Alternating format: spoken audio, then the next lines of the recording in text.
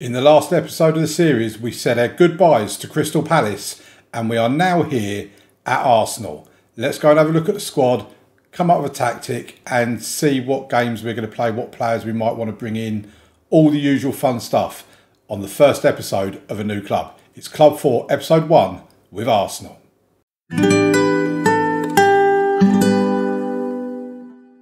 So here we are, folks. Arsenal higher heels in a move which is sure to spark plenty of heated debate. Damian Hills has left Crystal Palace to join Arsenal. Hills lifted the Sky Bet Championship with Crystal Palace in 2031 and will now be offered the, the chance to enhance his reputation by bringing success to his new club. Hills will be managing one of his favourite clubs and the significance of this appointment will certainly not be lost on either him or the team supporters. Hills will face pressure to bring immediate success to Emirates Stadium, having stepped up from his previous standing to take sole charge, and will need to hit the ground running if he is to win over those who believe his appointment is a questionable decision. Luis Enrique was considered to be the favourite for the job. I mean, it said Pep Guardiola, but but it is unclear whether the club favoured Hills all along. Crystal Palace will now be looking for a new manager. Arsenal have been disappointed in the Premier Division this season and find themselves below expectations in eighth place. Arsenal have only won one of their last five league games. Arsenal are on course to equal their lowest Premier Division finish since 2021 when they ended the season eighth.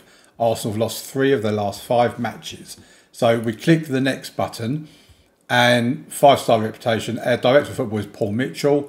Fierce rivals, obviously Tottenham. We've got no assistant manager. We need to get that sorted out straight away. 60,700 seater capacity stadium built in 2006. Finances, it says, are okay, which is a bit of a concern. Transfer budget, like we know, is 226 million with a 7 million pound wage budget. State of the art training, youth facilities, and excellent youth recruitment. We really do need to make the most of the youth in this club. Aidan Campbell, as you'll have seen from the job interview in the last episode, is our chairperson. In terms of the first team, I mean, it says here 4 2 3 1, which is what I would prefer to play. They're going with Restes in goal, Guehi and Pataka out wide with Saliba and Theate in the middle, Rice and Zaire Emery in midfield with Saka on the left, Perez on the right, Havertz behind Van Persie. Bukayo Saka is our key person. Our squad personality is highly professional. What's the next one I'm going to say? Hot prospect is Janil Francis. We need to make look at him. Bukayo Saka is their top earner and Declan Rice is the club captain. We know all about that. We don't need to see that again. This is the club vision as well. We basically know all about that. We need to finish above Liverpool, above Chelsea, above Man United, above Tottenham. I mean, basically just finish above everybody. Then schedule press conference meet the media. Yeah, fine. That's every month. That's exactly how I like it. Welcome to the video, everybody. Leave a like, subscribe, all that sort of stuff, and let's get into Arsenal Football Club. Just here, we've got a little thing about me taking charge of um, Arsenal. We've also got a little timeline, career milestones here. And when you look at the fact we joined Aveley on the 3rd of July 2023 and resigned from Aveley on the 14th of March 2027 was three, four years with Aveley. And then from 2027 with Aveley, we then went with them until for just over three years until we went and joined Crystal Palace on the 9th of June 2030. And then, of course, here we are now on the 31st of March 2033, nearly three years later, joining Arsenal. It's been quite the rise for us. So this is our inbox. We've got a little email here about playing time expectations and whatever else. Our supporter profile update. The supporters' influence on the board is low, only two stars. 54.2 million social media following, 45 million season, uh, 45 million, 45,000 season ticket holders, and 105,000 season tickets waiting list. I mean, that's massive. If you're on that waiting list, you're not holding out much hope of getting a season ticket, I wouldn't have thought. In terms of our support profile, 5% are hardcore, 25% are core, 23% family, 21% fair weather, 4% corporate, and 22% casual. Quite a nice even split, really. Competition expectation review, they want us to record a top half Premier Division finish. We are in the top half at the moment, and we have 226 million to spend in the transfer budget for the summer with a 7.2 million pound wage budget. We'll have a look at all of that in a moment. tactical direction, I have gone and done a couple of tactics. I will take you there and show you those in a moment. And we've got a load of staffing things that's gone out as well. We've had, I've had a look at all I've done basically is I've come in here since um, since what you just saw the bit as you first joined the club. Since then and now, I've basically come in, had a look at the staff, done a tactic, and then that's it. I, ju- I just wanted to get those done straight away so I was ready for this video. So, players currently unhappy. Cal Durin is unhappy. He's a squad player. Not really sure why he's unhappy. If you don't wish to deal with the unhappy players now, so why is he unhappy?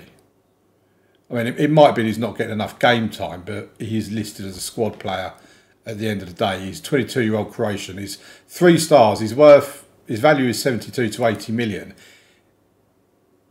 He, I mean, the fact he's three stars as a right back, I mean, he can play anywhere across the back lines. I probably do want to keep him happy, actually. So we'll, we'll have a look at him.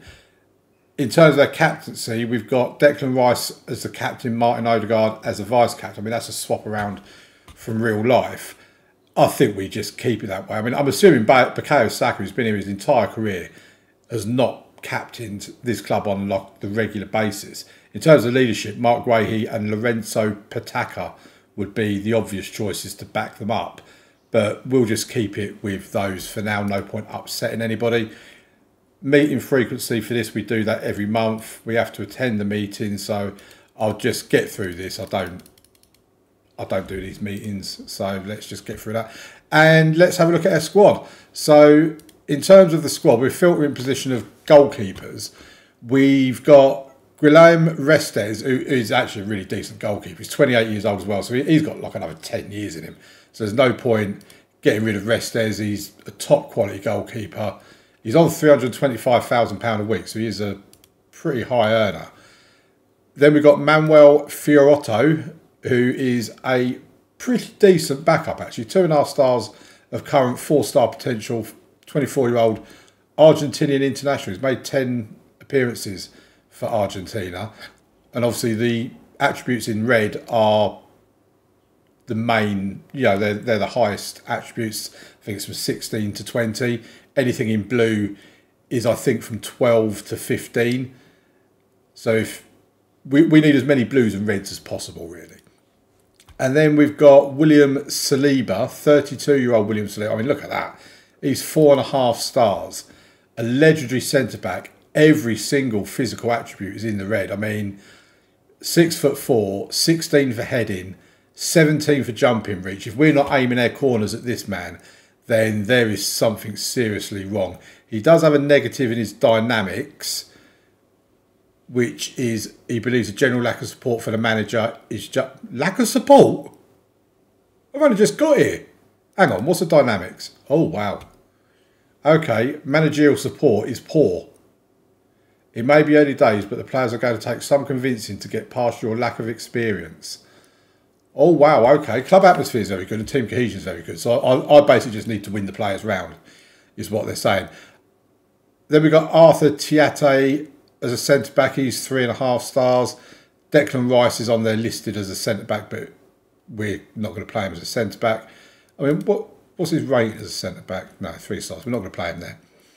Ousmane Diomande, those of you that play FM24 will most likely be very familiar with Diomande. He's only three stars. He's not really realised his potential with Arsenal.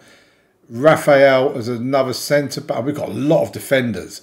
I mean, this is very obvious that Arsenal played that flat back seven horrible defensive formation before. Gustavo Gonzalez is two star current, three and a half star potential at the age of 23. He's a centre back that can play defensive midfield. I mean, he's probably someone we're going to look at moving on. Um, he, I'm sure we can get better options in than him. At the age of 23, I struggle to believe he's going to improve by a star and a half. Marc Guehi is an old man, but he's three stars. He, he can do defensive midfield. Well, he can actually do centre back, left back, and defensive midfield. So three stars. He's solid, I suppose. Quincy Hartman or Qu- Quilindschy Hartman is joining Benfica. The trans this player was transfer listed and he has been deemed surplus to requirement. It doesn't tell me how much he's joined. I'm assuming it's for 3.3 million um, because that's locked in. It's not a value range. It's just 3.3 million.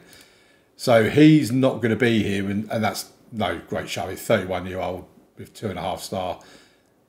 Then we've got Fabiano Parisi, who's a left back, two and a half stars in everything he's he can cross a ball, but again, I think he's a player that I'm probably going to want to move on. It does say he's wanted. He's wanted by Udinese and Benfica. Calderin, we already know about. He, he can play anywhere along the back. Then we've got Lorenzo Pacata, Pataka, Pataka, 24 year old Portuguese international, four star wing back. I mean, he, he's proper quality, Pataka. 24 year old wing back. We're, we're going to enjoy having him in the team. I mean, he's very quick as well. He's determined. He's got great decisions. He's brave, good leadership, work rate, marking. He looks a really decent player. And looking at him in the league for us this season, he's been on 6.96, which, considering where Arsenal are in the league, in eighth, that's not a bad rating, really. Ionut Roman, who's another left back. I mean, we've just got so. I mean, why is he here? 23 year old Romanian with two star current ability and two and a half star potential. I mean, he's come from their academy, so that's probably why why he's still here. Because I couldn't imagine they would have gone and bought him from anybody. But he's wanted by Wolves on transfer. I mean, again, if Wolves want to give me 15 million for him, I'm happy for him to leave. We've got a lot of players that train at clubs, so that kind of thing's not going to be an issue. Danilo, he's the guy that's in real life is currently with Wolves was linked to Arsenal before, not Wolves, Nottingham Forest. He was linked to Arsenal in real life before he went to Nottingham Forest. Again, he's solid. He's three stars, but he's 31 years old. I wouldn't, I wouldn't be adverse to selling him. Someone gave me 30, 40 million for him. That'd be fine with me. A 34 year old Martin Odegaard. Wow. I mean, look at that. He is still incredible. He's absolutely rubbish physically, but technically and mentally, he is awesome. He can play in any of the midfield positions, I'm really liking the look of Martin Odegaard, even at the age of 34. Warren Zaire Emery, who's 20, I mean, it's hard to believe he's 26. We're 10 years into the game here, aren't we? 1, 2, 3, 4, 5, 6, 7, 8, 9, 10. We're in the 11th, we can't be in the 11th year of the game, surely. Oh, we are, we're in the 11th year of the game. So the fact that he's still around, he's only 27, just goes to show if you're just starting to save, maybe try and get this guy. Who, who does he start with? He's with PSG in real life. Arsenal point five million for him. I'd say they've certainly got that forty point five. He's, he's been pretty consistent throughout his time here. He can play in both of these two areas. He can play as a deep line playmaker. He can play as a central midfielder, an advanced playmaker. He's a pretty decent player, I have to say. Bukayo Saka, 30, what, 31 year old Bukayo Saka. Wow. Okay. He turns 32 in September. Again, just look at him, left or right. He is a beast. Absolutely. He is a beast. 461 appearances and 144 goals. I know you can't see that because that's behind my head.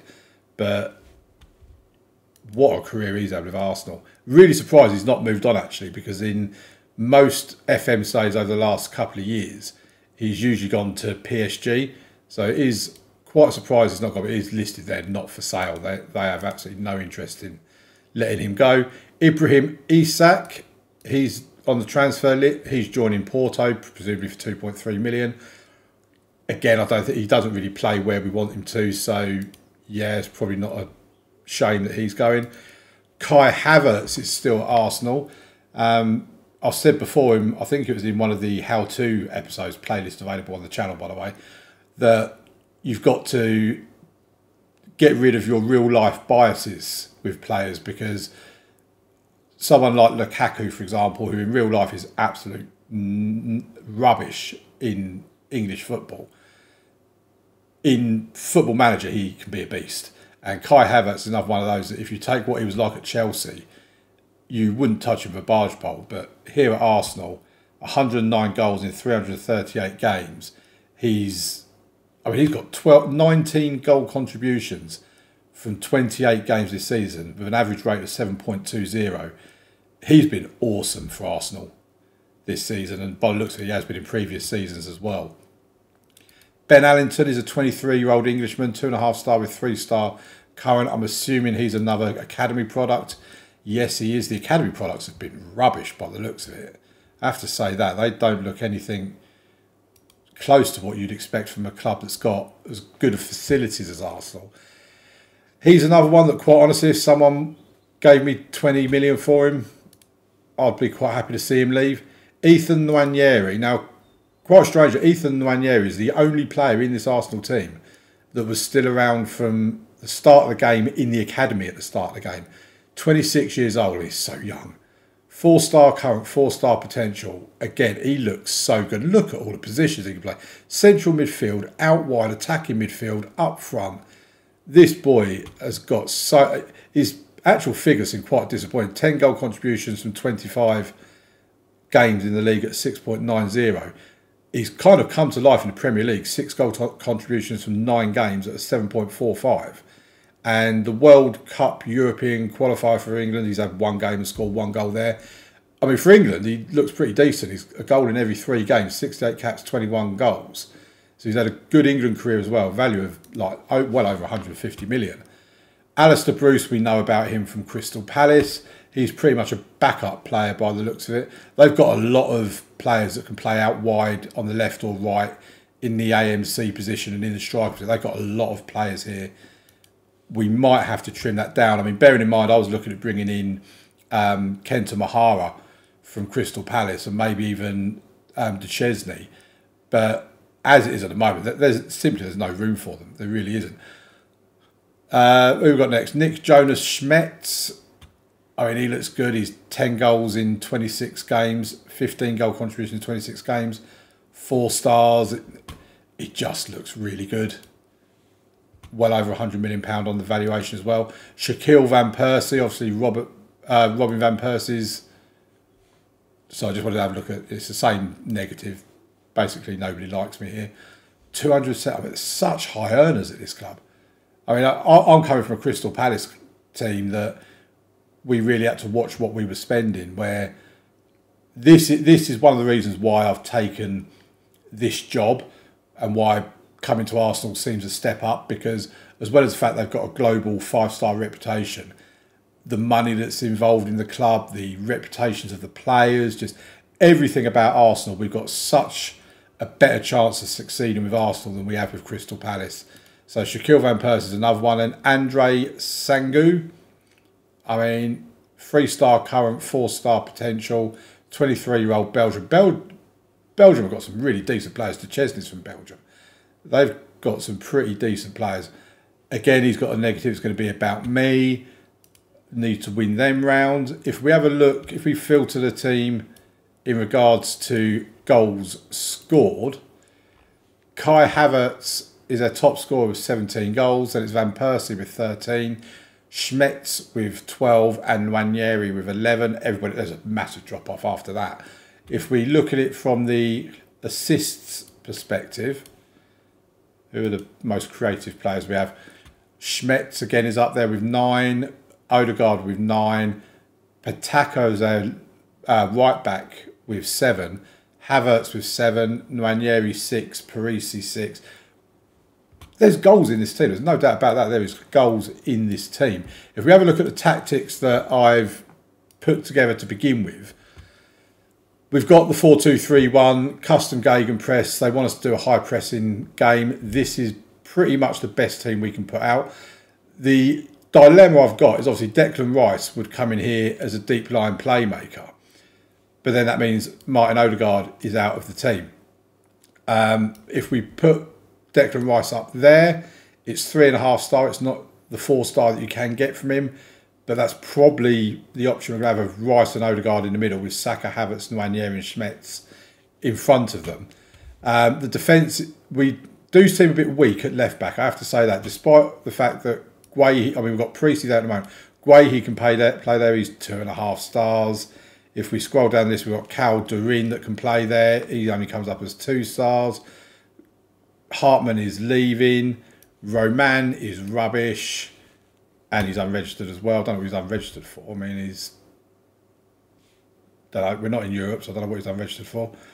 Um, and that's it. But, I mean, we've got several players that can play in these positions, but they're just not really to the standard that we want, you know. And so I think we definitely need to upgrade on the left back position. I would like to upgrade on the centre back, get someone that's four stars in the centre back position, at least three and a half star. Um, Arthur Theate, I mean, he's he's very good. Don't get me wrong. He's a, he's a very decent player. He's three and a half star, but he is thirty. Oh, and he's actually joining Al Hilal for six point six. So we've got some players leaving. What I do find confusing is I've been into the transfer part previously because I wanted to have a look at who we brought in. I've gone to future transfers and there's nothing in there about future transfers. So I don't really know why they're not listed. But if we look at, well, they're not even on here as the players that have gone out this season you know, it's it's quite confusing as to who uh, who's actually coming and going and whatever else. Because I'm assuming we've got nobody coming in because there's nothing listed. Now, if we look at the finances, we've got 7.2 million in the wage budget. We're currently spending 6.1 million, so we've got 1.1 million left in the wage budget, and we'll have more than that once we've let players go and sold players and whatever else. I mean, if we look at the ones that we know for a fact are leaving, i.e. Hartman, he's on £140,000 a week, so we'll be getting that money back. Um, Roman, is he another one that's leaving? I'm losing track of him now. No, it's not Roman. Isaac, yeah, Isaac. That's another 31,000, so that's 170,000. Um, Theate, that's 230,000. So, I mean, that's like £400,000 we're getting back straight from there. There is someone else as well that I put in the dev centre that I think I put him in the under 21s. I think it's this guy here. I think. No, it's Dre, Dre Endine, I think. Yeah. Oh, he's on loan at Sheffield. Who, there, there, was somebody else, I know there was. There you go, Vinix. He's on loan at Inter joining permanently. Then that's another 69,000. So we're going to have about another half a million left over, base or given back to us. Then we've got in the dev centre while we're here, Janelle Francis is our standout player. If we organise them by potential, forget him because he's going to be going. But we've got Francis who's got five star potential, Jack Gordon who's got three to four star potential.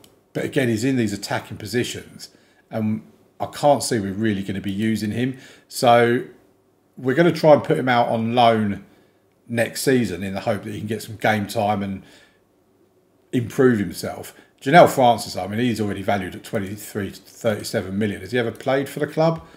Nope. Not in the league, not in the cups. No, he's never played, never kicked a ball for us. He's currently out injured, I think. Or is he just suspended? I think might just be, yeah, he's just suspended. After him, you've then got Joe White, who could be three and a half star. Borja Perez, who could be three and a half. There's not a great deal in here. If we then look at the under 18 squad, that's even worse. I mean, that there's nothing in here worth looking at. And I don't think they've had the youth intake this year, even though Harry Boyle at 15 years old would suggest he is within that mark. When's his contract start? So his contract has started a couple of weeks ago. Maybe it is the youth that's the youth intake. So if that's a youth intake, it's been diabolical, quite honestly.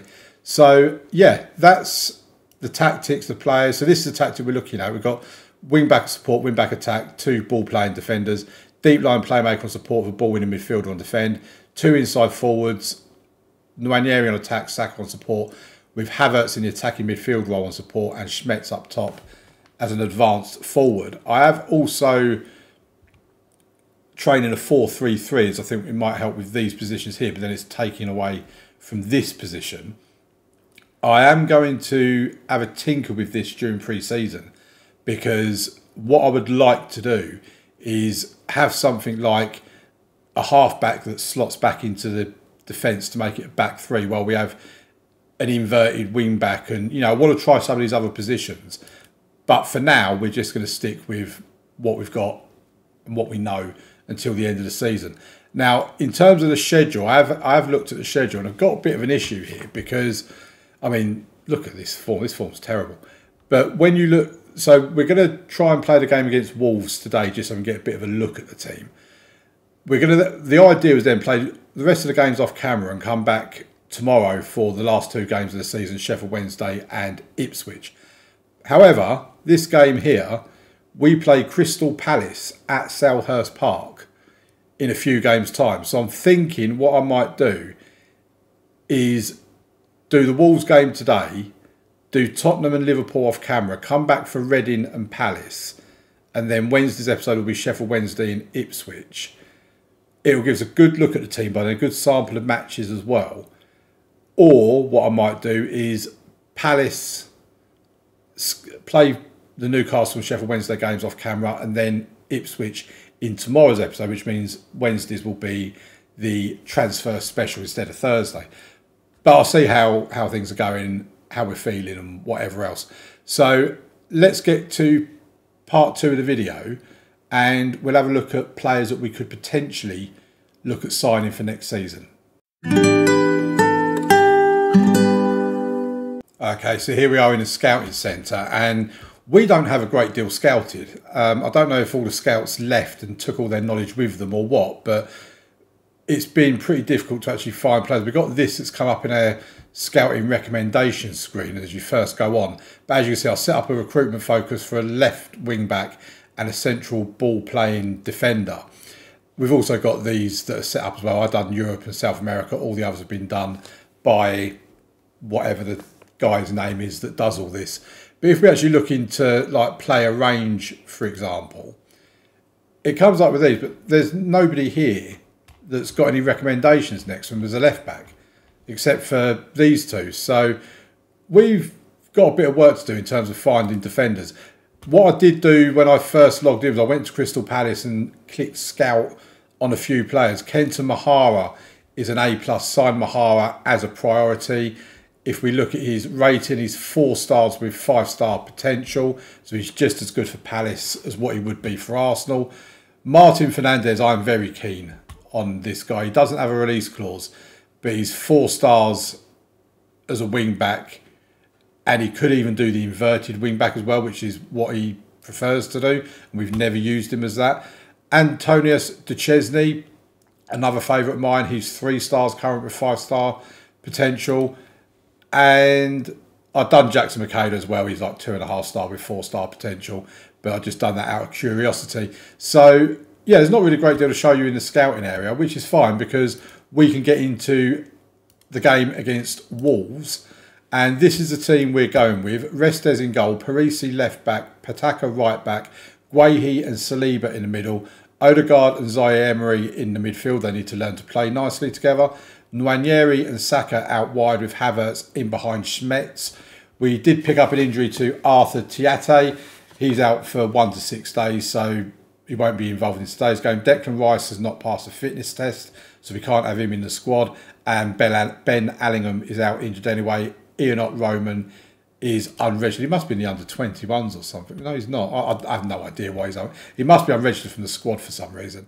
But what I have decided is with the except well Arthur Theate's there, but with the exception of Declan Rice, pretty much any of those in here that are not already leaving, I'm happy for them to go anyway. So Theate is leaving, Hartman's leaving, Roman can go, Isaac is leaving, and Allingham can go, and Cuesta can go as well. I'm not too bothered about him. So any of these these ones, with the exception of Declan Rice, will probably be gone by the start of next season with new players brought in. Like I say, the left back and centre defence are my priority at the moment. If I have money left over for a luxury, Bukayo Saka might find he's becoming replaced by Kenta Mahara, but we'll see. Right, let's submit the team. Let's get into today's game. I'm aware that um, we are going a bit long in today's video, but hopefully you're enjoying it. Hopefully you're happy that we are here at Arsenal. I've got no assistant manager, so I've got nobody telling me what to do. So, uh, let's go that one. Nobody really wanted to be motivated by it. That's Wolves' recent form. They've won two of their last five. let's get into the game and let's see what this team is actually about. You know, this is the first game for us. Zaire Emery takes the corner. Saliba gets on the end of it. Oh, and he almost put in the rebound. We did say earlier on that our corners should be getting aimed at Saliba. We are going for near post in swingers as the most often one, We've less often set for the central corner and the far post in swinger. Here's Parisi now. Gives it to Marc Guehi. Gives it back to Parisi. He loses the ball. He didn't look very confident on it, I must admit. Good tackle. Guehi gives it to Saliba, then gives it to Saka. Saka's an old man by now. Schmetz. Oh, and it's saved by the keeper. We've got off to a good start. I mean, these opening three, four minutes have been pretty decent, to be fair. Let's turn on the league table. We are in eighth, and obviously Wolves are one place above us. So we actually, if we have aims of getting European foot, what on earth was that? If we have aims of getting European football next season, we really do need to be beating Wolves. We have got a game in hand over Wolves as well. It looks like the game against Palace is a game in hand as well. Right, Wolves have the ball in defence. They're going to try and bring it out. João Gomes, but it's intercepted by Pataka. Gives it to Nwaneri. Schmetz is through. Oh, and he's missed. He's been scoring for fun this season by the looks of it. Now that I've arrived and my issue with strikers, he's obviously not going to score anymore. Zaire Emery with the corner, whips it in, and it was Saliba with the header, but Martinez comfortably gathered it straight to him. I mean, Saliba's their best player at the moment. He's had a couple of headers from corners. Approaching the 30 minute mark. I mean, we've been all over Wolves. We've had six shots on target, not been able to score. It's quite alarming when you can't score from six shots on target. Here's Havertz to Nwaneri out to Parisi. This is nice football. Parisi's in the box. Oh, I think he hit the woodwork. I don't think that was a keeper saving. I think he's hit the woodwork. And looking at the match stats, yeah, we, we have hit the woodwork. So I'd say that probably was the case. And it's half time. I don't know how it's nil nil at half time. I mean, look at the stats. That is ridiculous. Right. I don't like what I just saw from this team, to be honest. Go back out there, get the points. Come on, boys. First game as Arsenal manager, I'd like it to end in a win. And it'd be a good win as well against, like I say, Wolves team that are doing pretty decent at the moment. I'm assuming Palace must be winning their game because we were 10 points behind and we're now 12 points behind. I am so interested to see how Palace do now that we've left because they were set up to really do well. Right, Schmetz is going to come off and Van Persie can come on. Um, who we got here? Saka's not having a great game. What's Sanganu like out there? Any better if you switch them around? No, that's worse. Okay, we'll just go with that for the time being. I mean, Saka needs to realise that there's someone in my thoughts that could be coming in to replace him. Oh, that was close. Right, what I think we'll do now is... I don't know, is the truth. What can Danilo do? Can he be a ball-winning midfielder? He should be able to. He don't seem to like it a great deal, but we put Danilo as the ball-winning midfielder.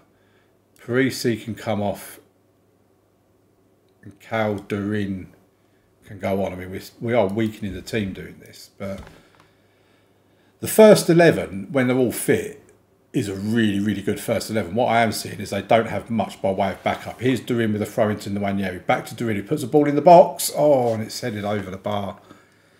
A boring, goalless, nil-nil draw for their first game in charge by the looks of it. Well, saying that, Wolves have a corner.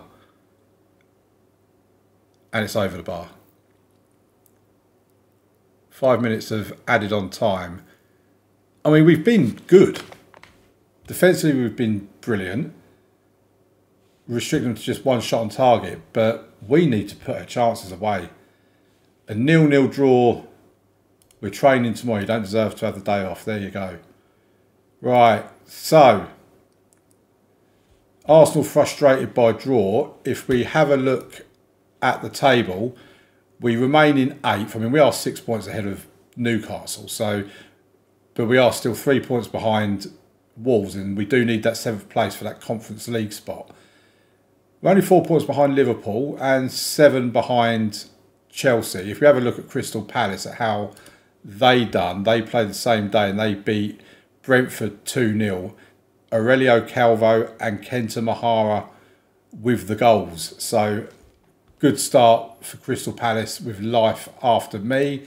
Their manager at the moment, if we have a look, they've got caretaker manager Gary Isa. Be interesting to see who gets that job.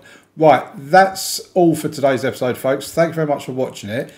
And like I say, for the next episode, I'm not really sure where we're going to come back. It'll be, I do, I really do want to play the Palace game, so it'll be Palace will be involved in it somewhere. But that will be tomorrow's video, and I'll see you then. Drop a like on the video, subscribe to the channel, and thank you very much for watching. Bye.